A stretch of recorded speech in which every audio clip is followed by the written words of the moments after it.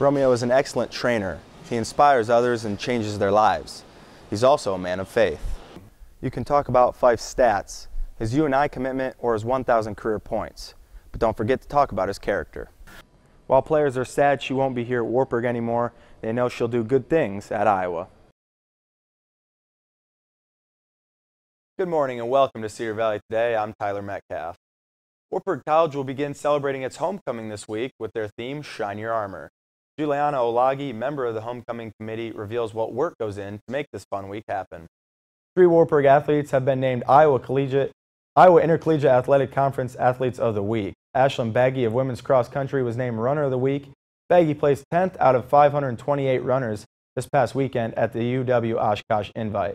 Beth Crow was named Defensive Player of the Week for women's soccer. She is now a six-time Defensive Player of the Week. And Catherine Nasby on the volleyball team was also recognized. She was named Defensive Player of the Week.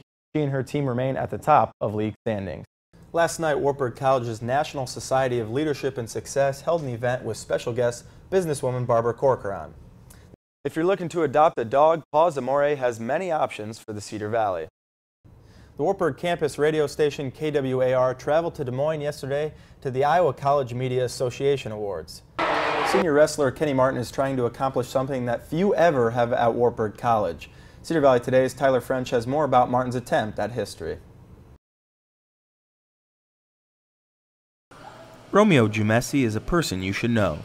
As the director of personal training and group fitness at the W, Romeo has an impact in this community. The man with the constant positive attitude loves what he does. The reason why I'm so passionate about what I do is because I love seeing people moving from point A to point B. I love making a difference into people's life. Romeo has been working with a W member, Susan Vallum, for a few years now. Once unable to go upstairs, Susan's life has been changed. Just ask her yourself actually given me my life and my mobility back. Uh, I have a lot more balance. Again, I don't have any pain. I can walk up and down stairs, uh, move really quite well. Romeo doesn't just make his clients physically healthier, he helps brighten their day with his attitude. He's so motivational. He's always up. He uses a variety of exercises. He pushes you to do the best that you can be. By me having a bad attitude would affect three or four or five people or my whole staff. So I have to come in with a positive attitude, you know, and, and be that leader, you know, that is always positive among them. Romeo is an excellent trainer. He inspires others and changes their lives. He's also a man of faith.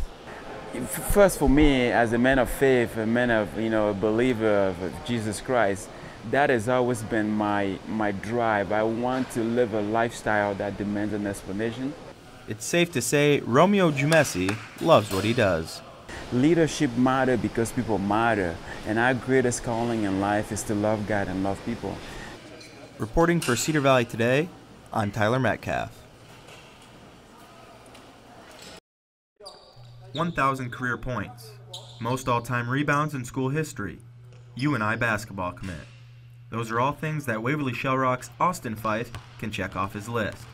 The next thing up state championship. We want to be playing our best basketball right now against these teams so we can take it into districts and then hopefully follow that on the state and then deep into the state tournament.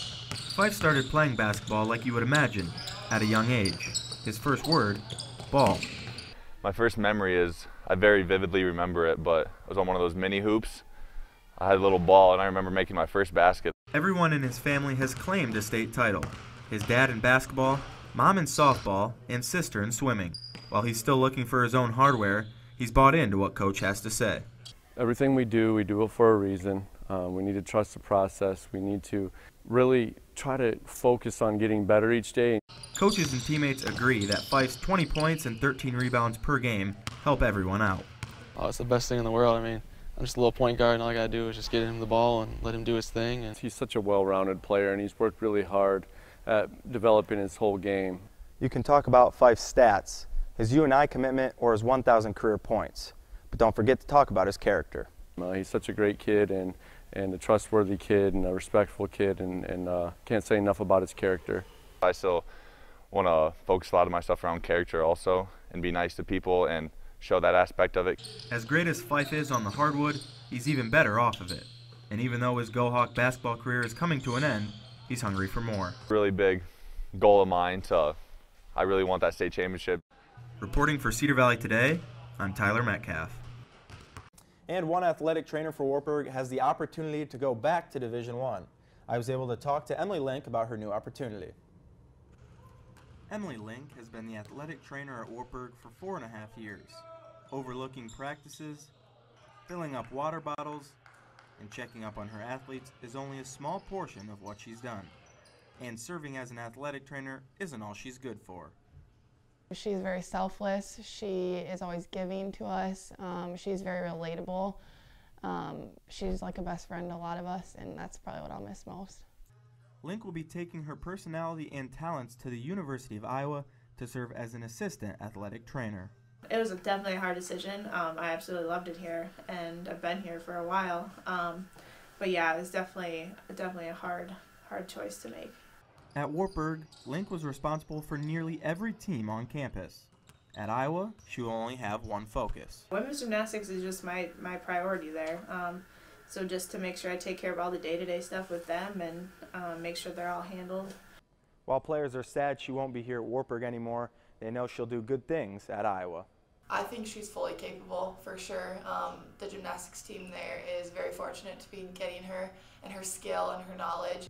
Now, an empty chair in an empty office that overlooks the training room is going to be without Emily Link, a place that she will dearly miss. I've never felt not appreciated here or not a part of something big, and that's probably what I'll miss the most, is just the people. Link begins her new journey today in Iowa City. Reporting for Cedar Valley Today, I'm Tyler Metcalf.